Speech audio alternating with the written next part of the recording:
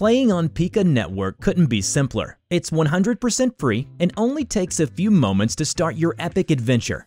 Pika Network is a PC server, so you will need Minecraft PC or Java Edition if you want to use fancy words. So to start, simply open up your copy of Minecraft. Once you've reached the menu screen, click on the button labeled Multiplayer, and then click the button called Add Server. You will see a new screen pop up asking for a few details.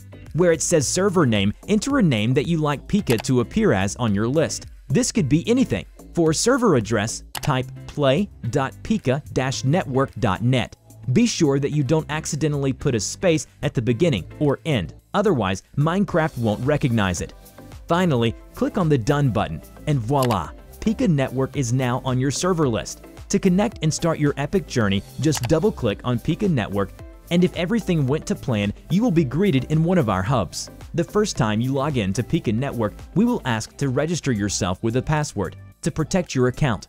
Make sure to create a good password that no one else would guess. After you have created your password, you will have to log in to the server every time you are joining Pika Network.